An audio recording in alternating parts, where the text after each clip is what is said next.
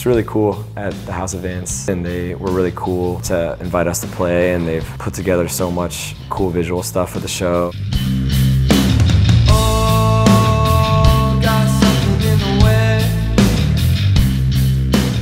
I like having just interactions. I think that's that's kind of what makes the live environment special is that it's an interaction with between people and people playing music.